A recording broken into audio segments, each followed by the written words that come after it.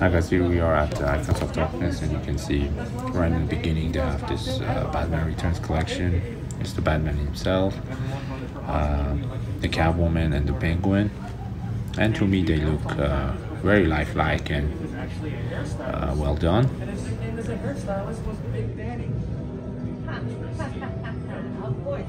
Of course it is.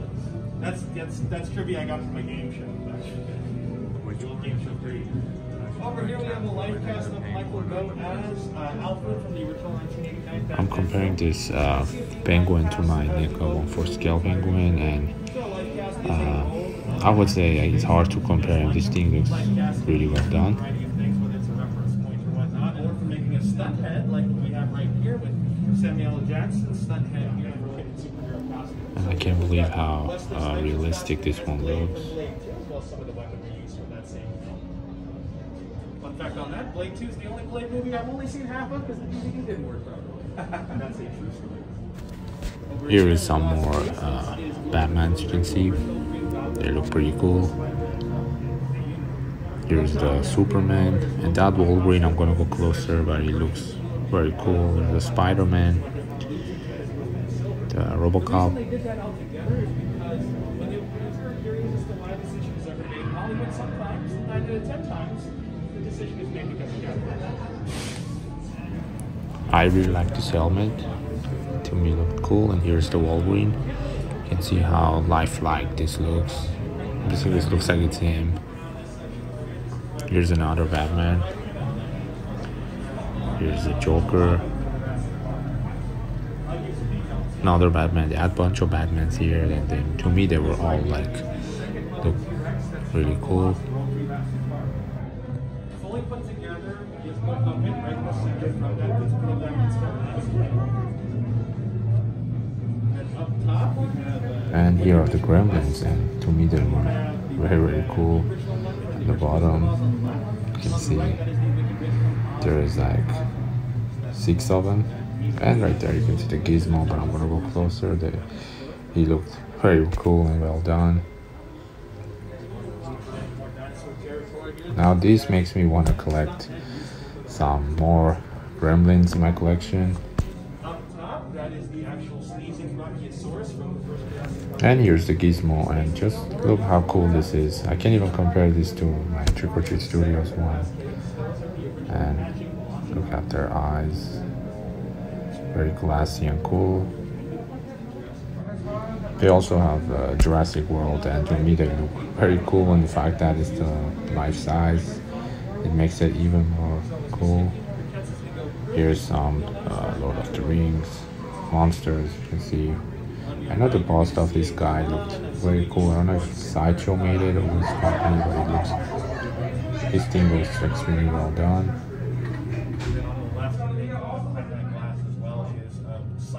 Fight. He's the final boss in the first one, that besides Shang Tsung. So the thing about Goro is, oh, sorry, that's Haas. He's not a Sorry, guys. He's still pretty cool. Uh, the thing about Goro is that there was actually three people that had to operate the Goro suit.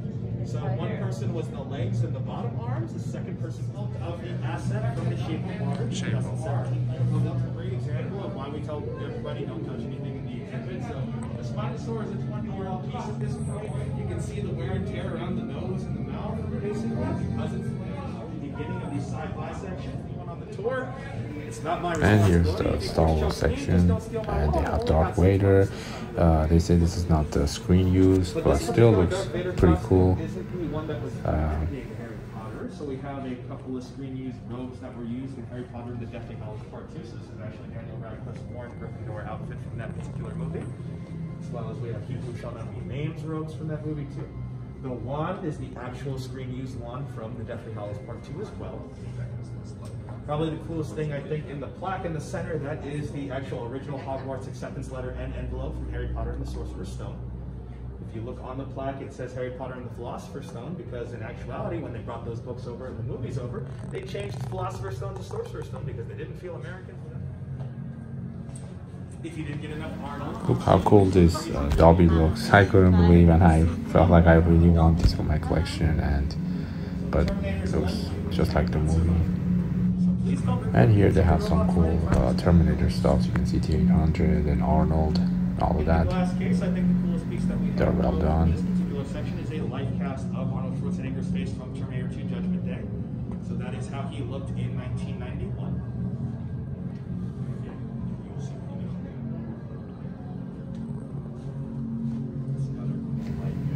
I really like that uh, T800 head you can see right there, the right side. And these faces, super cool. And here they have some more uh, Star Wars.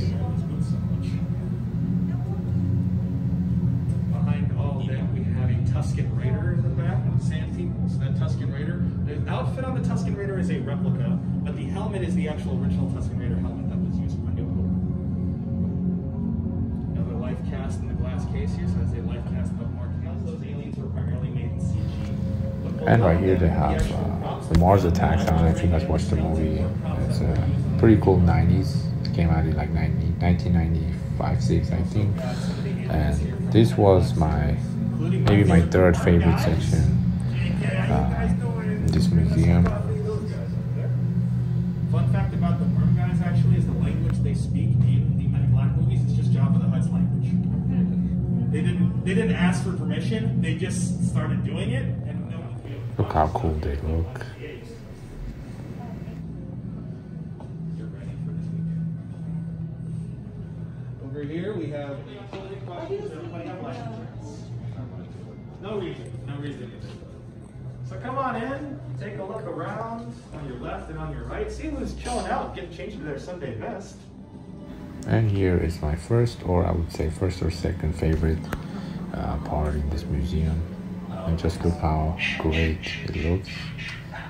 Uh, the way they displayed it, the lighting, is the shining. The shining, you can see how cool it looks.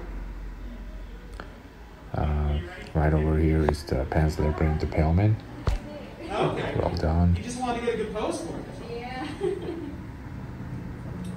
Let's see. Right here is the Delta Silence. If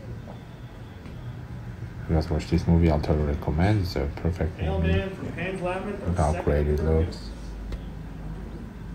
Here's This the is from Pinhead from the Hellraiser.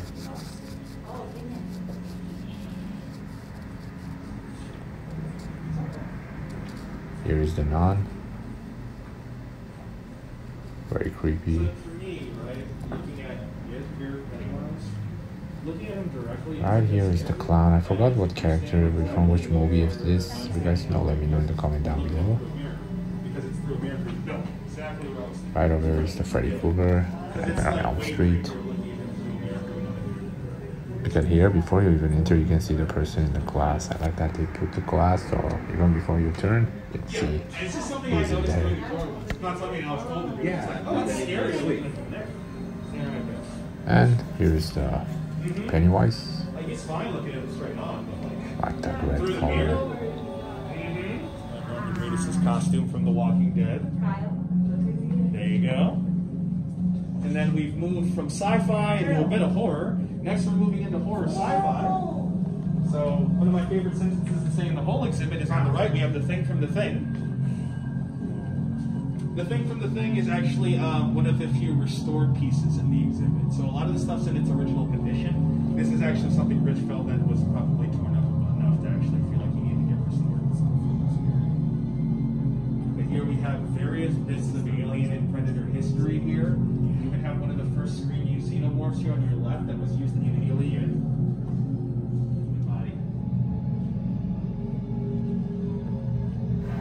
I like this uh, alien section they have.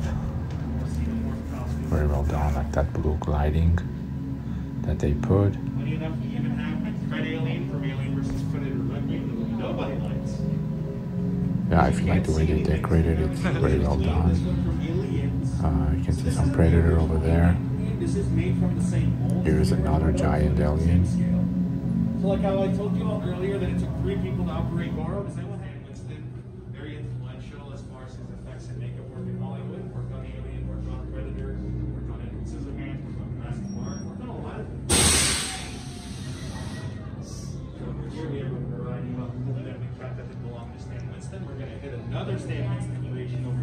corner. Pumpkinhead. So that is another Stan Winston creation. As well. That is the screen used Pumpkinhead, and it's also one that Stan Winston kept in his home after the filming of Pumpkinhead. Uh, Freddy Krueger from uh, The New Nightmare, as well as we have one of the original Freddy Krueger gloves from Nightmare on Elm Street 3 in the glass case as well. That was the best one. You're the second person that said that today. Yes, awesome. The last story I had to do was like, that was the best one.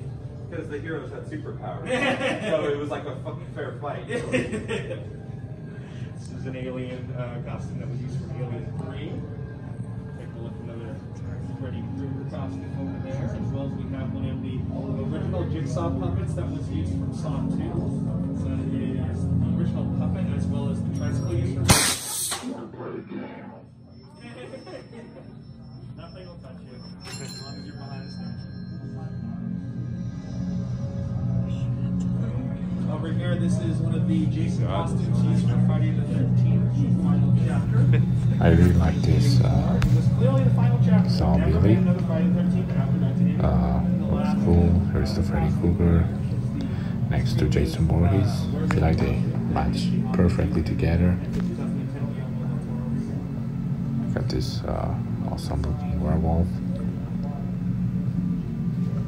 So next we're gonna head back down. This is where I'm looking. This is a replica of the Lycans, since all the Lycans in that movie were made out of CGI. As you guys are seeing in that glass case over there, that is the life molds of Jim Carrey and Peter Greene from The Mask.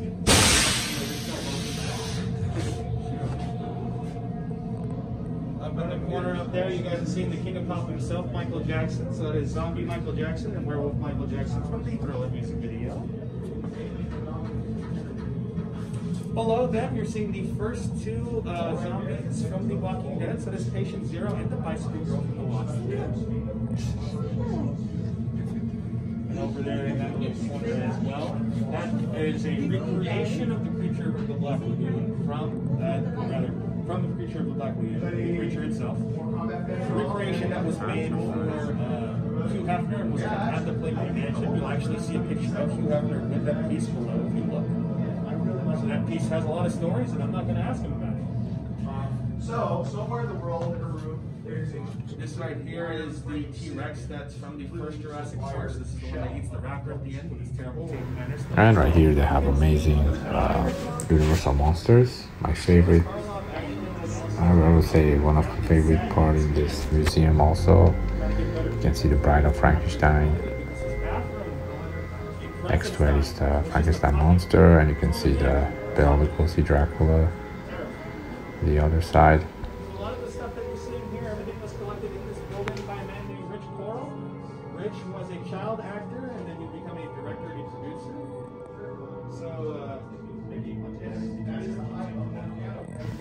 And right over here they have the mummy. It to me looked great. Look at this uh, awesome faces. Very very cool.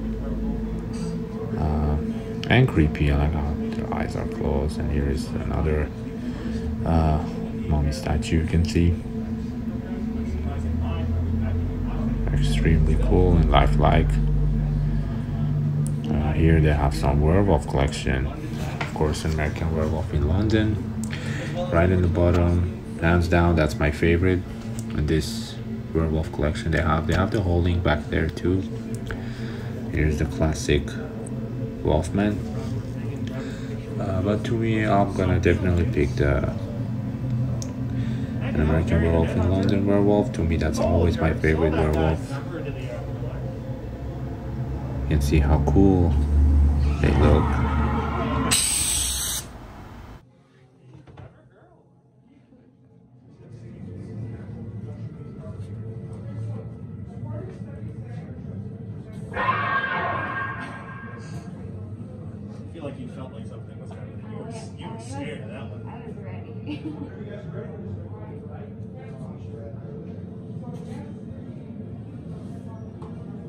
Over here, this is the original alpha female raptor that was used for the first Jurassic Park.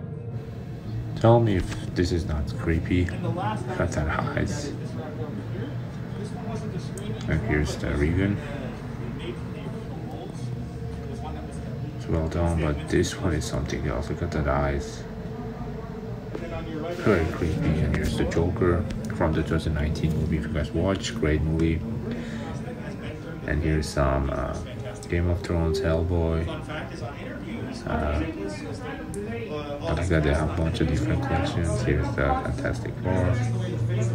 Remember I'm watching this when I was a kid. Here's the Hellboy stuff.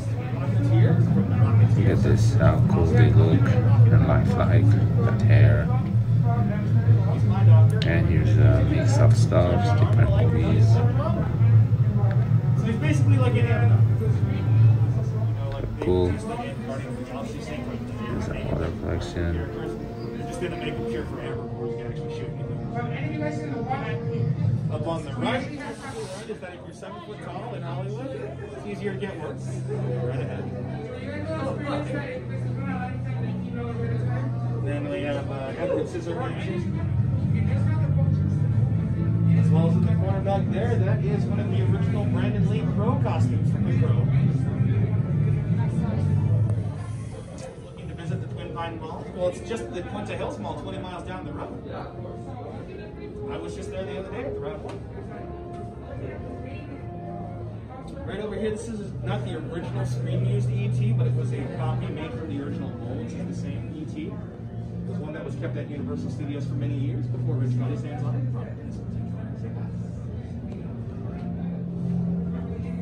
And then we started the tour with Batman. We're ending the tour with Batman. So on your guys' left here, we have a couple more Joel Schumacher bat suits. From Batman Forever, another Chris O'Donnell Robin, and another Batman Returns. So this one he's actually wearing a pair of Nikes. Batman Returns, he's actually wearing a pair of Jordans because there was an endorsement deal.